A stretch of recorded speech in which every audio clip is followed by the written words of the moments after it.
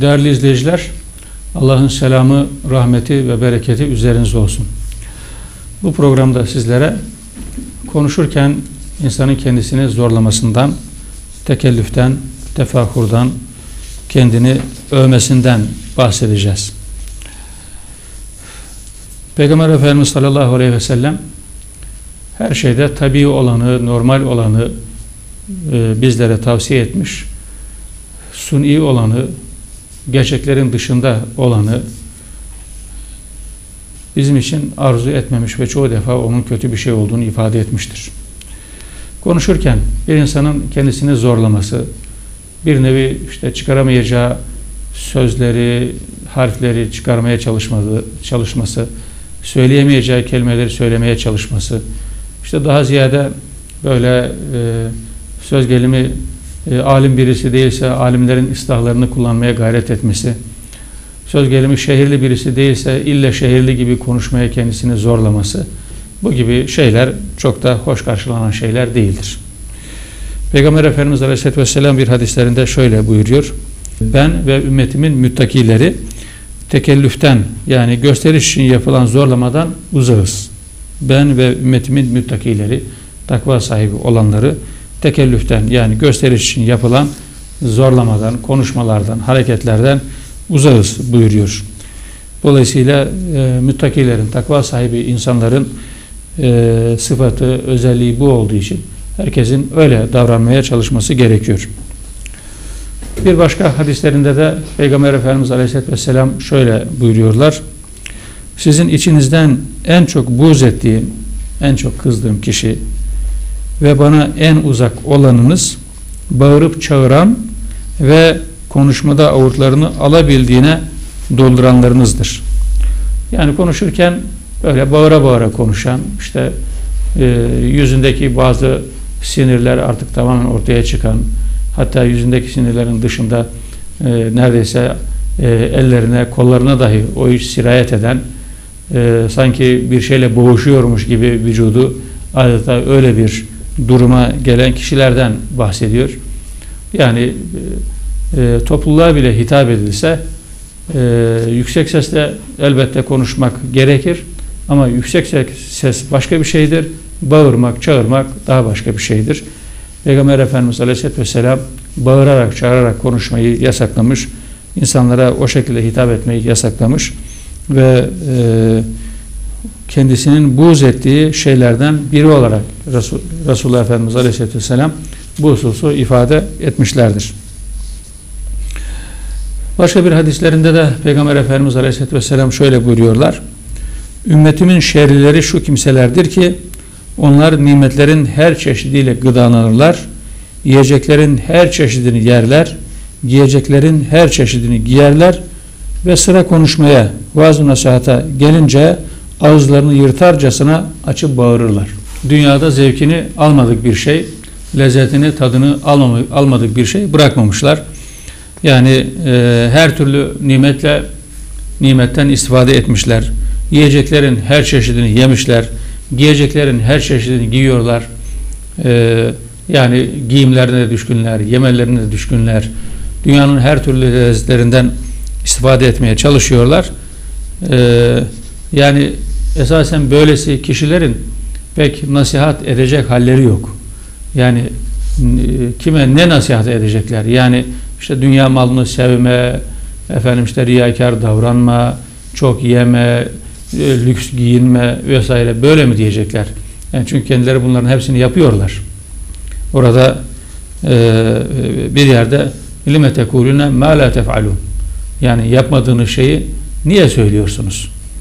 E, dolayısıyla bu kişiler vaaz nasihat etmeye kalkırsalar bir nevi yapmadıkları şeyleri söyleyecekler ama bununla beraber e, bu kişiler öyle kişilerdir ki sıra vaaz nasihat etmeye konuşmaya gelince ağızların yırtarcasına açıp bağırırlar. Yani diyelim çocuklarına, eşlerine, akrabalarına e, nasihatte bulundukları zaman bağıra bağıra e, bu işi yapmaya kalkışırlar. Peygamber Efendimiz Aleyhisselatü Vesselam ümmetin en şerrileri bunlardır diyor. Yani tabi hani orada söylenecek olan söz hani bu ne perhiz, bu ne lahana turşusu derler. Yani şimdi periz yapan insanın her şeyden önce turşu yememesi gerekiyor. Belki turşuların da demek ki en tesirlisi insana lahana turşusu ki bu ne perhiz, bu ne lahana turşusu diyorlar. Ee, dolayısıyla evet herkes başkalarına bir şeyler söyler. Söyleme hakkı vardır ama insanlara en az nasihatta bulunabilecek, en az bir şeyler söyleme hakkına sahip olanlar dünyanın her lezzetinden tadanlardır. Öyle insanların başkalarına pek nasihat edecek halleri olmaz. Bir nevi hakları olmaz. Ama bununla beraber bu tip insanlardan bazıları vardır ki bağıra çağıra insanlara nasihat ederler. Sanki e, o nasihat edikleri şeyleri kendileri yapıyormuş gibi. Resulullah Efendimiz Aleyhisselatü Vesselam böyle bağırıp çağırmaktan insanları yasaklamış. Bir hadislerinde de şöyle buyuruyorlar. Dikkat edin. Ağızlarının tabanını gösterecek kadar ağzını açıp konuşanlar helak olmuştur. Ağızlarının tabanını gösterecek kadar ağzını açıp konuşanlar helak olmuştur. Yani konuşurken işte normal konuşmak lazım. Bağırarak çağırarak söylememek lazım. Hem de Hazreti Peygamber aleyhisselatü vesselam bu sözü söylediği zaman üç kere tekrar etmiş. Ee, Tabi önem verdiği şeyleri Resulullah Efendimiz e, tekrar ediyor. Bu da tekrar ettiği sözler arasında. Abdullah bin Amr'ın rivayet ettiği bir hadiste de Peygamber Efendimiz Aleyhisselatü Vesselam şöyle buyuruyor. Allah'ın insanlardan en çok nefret ettiği kişi sığırın diliyle ağzını karıştırdığı gibi yanlışı doğru, doğruyu yanlış göstermek için konuşurken dilini dolaştırıp duran belaga sahibi kimselerdir. Evet hadisi bir daha okuyabiliriz. Allah'ın insanlardan en çok nefret ettiği kişi sığırın diliyle ağzını karıştırdığı gibi yanlışı doğru, doğruyu yanlış göstermek için konuşurken dilini dolaştırıp duran belaga sahibi kimsedir. Evet bazı insanlar işte söz cambazıdırlar. Ee, bir nevi sözleriyle alttan girerler, üstten çıkarlar. Ve bunu yaparken de o sözünün güzelliğine kanıp söylediği şeylerin de doğru olduğunu zannedersiniz. Ama işte e, Cenab-ı Allah'ın en çok nefret ettiği kişiler bunlar. Sözü ağzında dolandırır, durur. Yani o kadar söz söyler, netice itibariyle ne söz söyledi, ne demek istedi onu bile anlamak mümkün değil. Sözleri birbirine karıştırır, durur. Yine benzer bir e, hadis Ahmet bin Hanbel e, tarafından rivayet edilmiş. Peygamber Efendimiz Aleyhisselatü Vesselam buyuruyor. İnsanların üzerine öyle bir zaman gelecek ki sığırlar dilleriyle otu karıştırdıkları gibi insanlar da konuşmalarını o şekilde geveleyeceklerdir. Evet insanların üzerine öyle bir zaman gelecek ki sığırlar dilleriyle otu karıştırdıkları gibi insanlar da konuşmalarını o şekilde geveleyeceklerdir. Ee, yani biraz şehir hayatında, şehirleşme hayatında e, maalesef e, böyle bir şeyin özünden, içinden, esasından ziyade görüntü daha çok dikkat çekiyor. İnsanlar görüntüye daha çok önem veriyorlar. Ve tabi konuşurken de öyle. Konuşmanın içeriğine çok fazla dikkat eden yok. Konuşmanın özüne, aslına, ifade ettiği manaya çok fazla dikkat edenler yok. Söylerken bunu ne kadar güzel bir şekilde söyledi. Böyle ne kadar cazip, ne kadar çekici, ne kadar hoş bir şekilde söyledi. İnsanlar ona dikkat ediyorlar.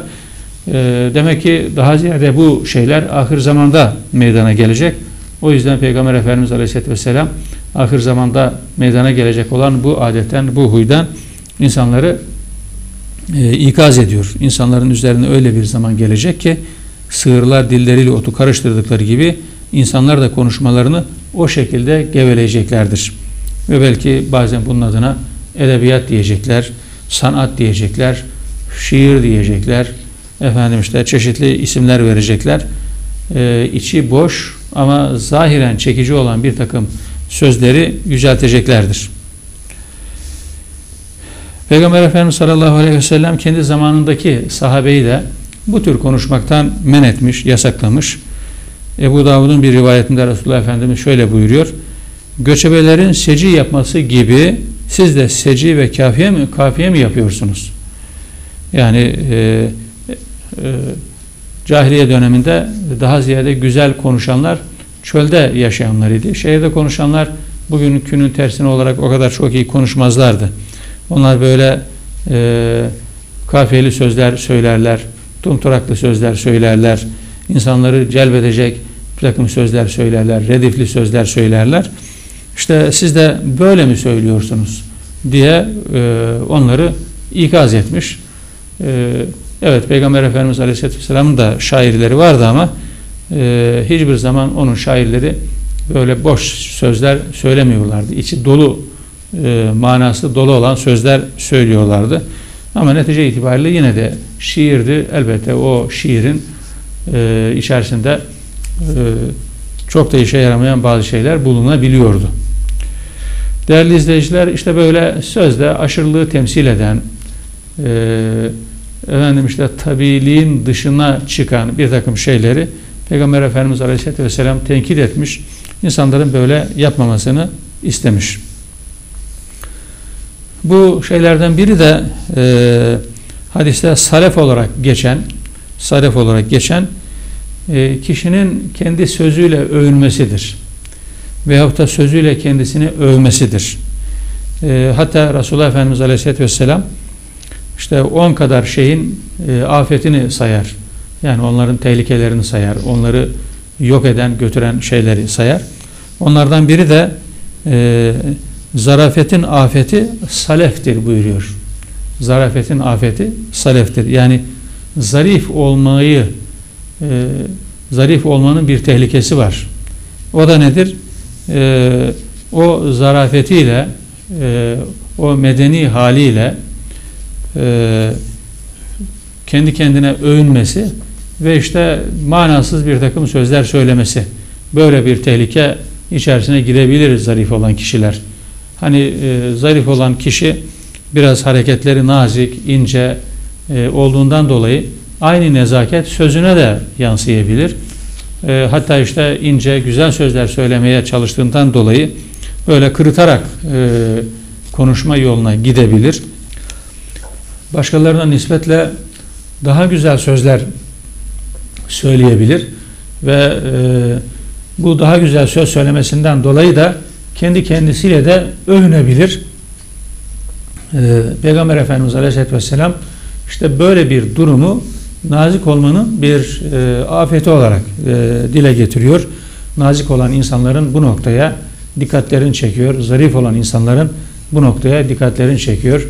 Yani o nazik halinizle, o zarif halinizle, o güzel davranışlarınız ve güzel konuşmalarınızla sakın e, kendi kendinizi beğenecek e, ve e, kendi kendinizi övecek e, bir noktaya gelmeyiniz demek istiyor o kısa sözüyle. Başka bir hadislerinde de Peygamber Efendimiz Aleyhisselatü Vesselam şöyle buyuruyor. Övünme ve kibirlenme deve sahiplerinde, sükunet ve vakar ise koyun sahiplerindedir. Yani şimdi herkes her hareketi yapmaz. Herkes her türlü sözü söylemez. Yani siz cahil insandan e, alim gibi konuşmasını bekleyemezsiniz. E, veyahut da işte hayatını diyelim o, oyunla kazanan bir kişiden e, yüksek bir e, zanaat bekleyemezsiniz. Öyle bir durum söz konusu olmaz ve her mesleğin getirdiği bir konuşma tarzı da vardır. Yani şimdi sanayi çarşısına gittiğinizde e, orada kendisiyle konuştuğunuz bir ustadan böyle, böyle makale yazar gibi konuşmasını e, düşünemezsiniz. Kitap yazar gibi konuşmasını düşünemezsiniz. Hiç eksiksiz, noksansız ve üstelik e, daha çok edebiyatta kullanılan bir takım kelimeleri seçerek konuşmasını bekleyemezsiniz. E, ahlaki bir takım davranışlar da öyle. Yani e, bazı meslekler vardır ki o meslekler gururu kaldırmaz. Yani söz gelimi bugün tuvalet bekçiliği yapan bir insanın gururlanacağını nasıl düşünebilirsiniz? Yani e, ister istemez kendi mesleği gereğince e, mütevazi olmak durumundadır. Yani hangi fiiliyle, hangi e, sözüyle, hangi varlığıyla gururlu e, olacak, kendini beğenecek, başkasına kendisini beğendirecek. Şimdi e, ahlaki olarak da bazı özellikler bazı meslek sahiplerinde daha çok bulunuyor.